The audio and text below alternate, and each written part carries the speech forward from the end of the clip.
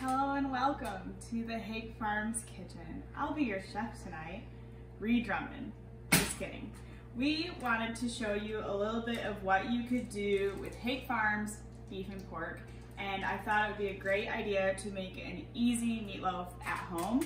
Um, meatloaf is incredibly easy to make and um, a really good um, traditional food for the family. So um, before we get started, I just want to talk a little bit about the history of meatloaf. It's actually um, a German and Scandinavian and Belgian traditional food.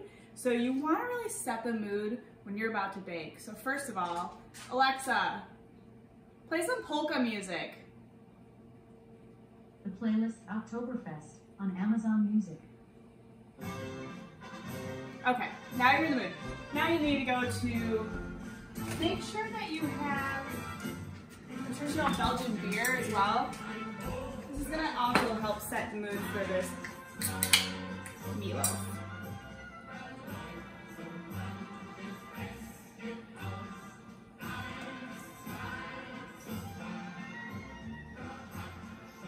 Okay, now you're ready to go. So first of all, um, traditional veal is actually uh, a three-way meat combination between pork, ground beef, and veal. I'm out of ground veal right now, but that makes a great combination in thirds. Tonight we're gonna be using a pound of ground beef and a pound of pork sausage and adding those together. So some quick tips. Meatloaf is very, very easy to make, but there are a couple tips with meatloaf. Is one, you can over mix it and make the meat tough, so you don't wanna over mix it. Secondly, you don't wanna use a loaf pan because a loaf pan will actually steam your meat and no one likes boiled meat, right? So you wanna actually use a cookie sheet um, when you're cooking. Um, and other than that, you can always mix this up and freeze it when it's assembled and use it anytime. Okay, so first the ingredients are pretty simple.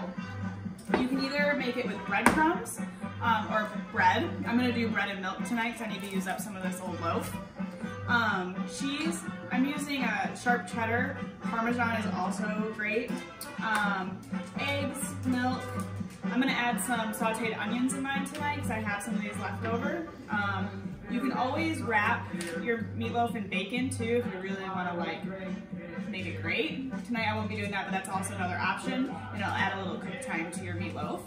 Um, so for the topping, it's about a cup and a half of ketchup, a third of a cup of brown sugar, a teaspoon of ground mustard, um, and then you can always add like a Tabasco. I want to use up this sweet and spicy uh, chili heat, so I'm going to add this to my sauce tonight. All right, first things first, set your oven to 350 and we will get started with the assembly.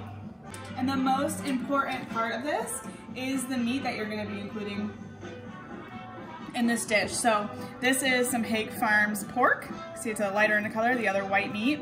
And this is some Hake Farms beef here. This is all nice and fresh and this is gonna make a great meatloaf.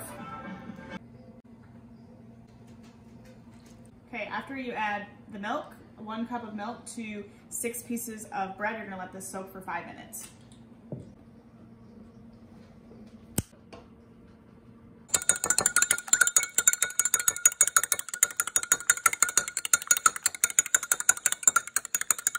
Okay, so after your bread and milk have soaked, and after you beat your eggs, we're gonna combine this all together.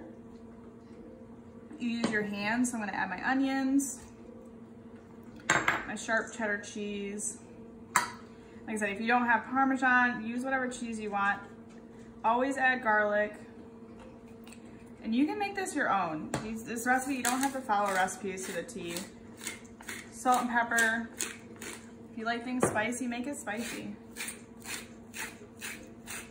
Okay, the most important, the meat. We have the meats and egg. Okay.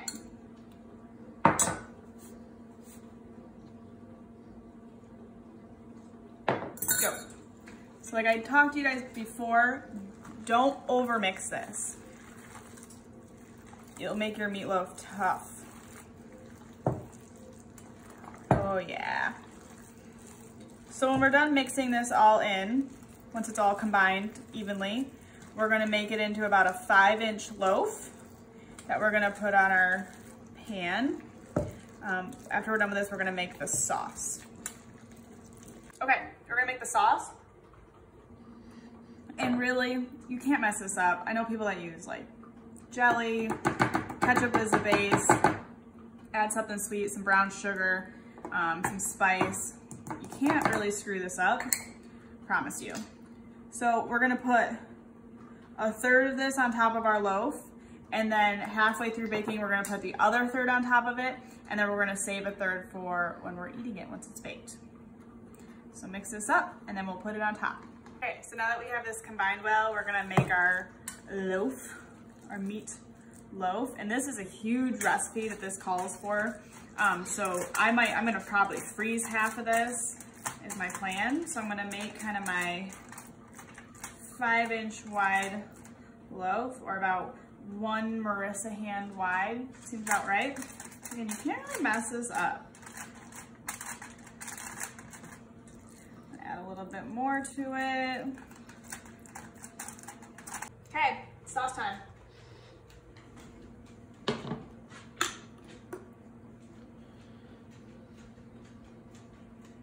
It's beautiful.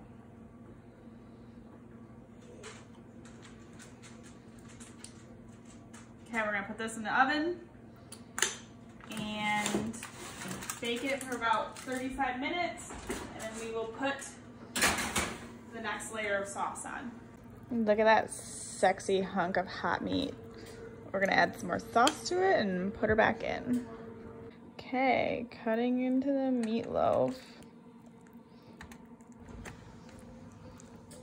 Nice and done. Perfect. I'm gonna tip it over here so you can see. Looks perfect. A lot of people like to serve this with mashed potatoes. Um, really, honestly, we're in confinement, so whatever you got left in the pantry will work. So again, hope you enjoy uh, meatloaf.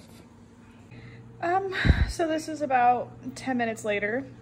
Perhaps I should have made both loaves